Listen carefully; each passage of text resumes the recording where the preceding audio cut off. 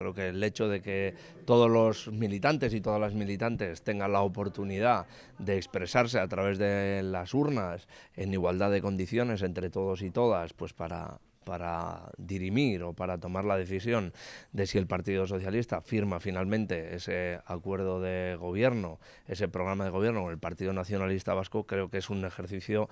ejemplar ¿no? de, democracia interna. Yo me siento muy orgulloso de los instrumentos que tiene mi partido y sobre todo de la respuesta que hoy va a dar la militancia de este partido en cuanto a, participación. Una participación que yo creo que va a ser, va a ser alta y que desde luego va a ratificar, eh, muy probablemente casi con total seguridad, ese acuerdo, ese preacuerdo que hemos firmado con el, con el PNV para constituir un futuro gobierno sobre una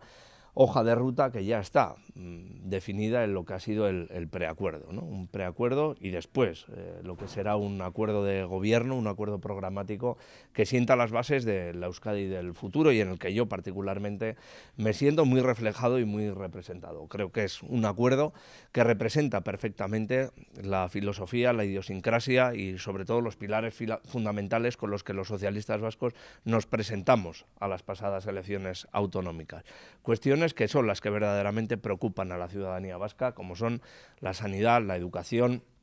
la vivienda, el empleo, el modelo de cuidados, el reto demográfico, las oportunidades para nuestros jóvenes. En ese programa de gobierno, igual que en el preacuerdo, se ve perfectamente que están reflejadas con puntos y comas muchas de las cuestiones que nosotros llevábamos en nuestro programa y me atrevo a decir que en un porcentaje altísimo del futuro programa de gobierno nuestro programa estará reflejado eh, íntegramente y, textualmente. Eso demuestra que el Partido Socialista conoce Euskadi, que el Partido Socialista sabe cuáles son eh, las herramientas y las soluciones que tiene que dar a los problemas de la ciudadanía vasca. Por tanto, si la hoja de ruta se cumple en el próximo gobierno, podremos decir que la vida de la ciudadanía vasca, del conjunto de la ciudadanía vasca, mejorará sustancialmente y desde luego muchos de los problemas que tenemos en la actualidad se verán resueltos.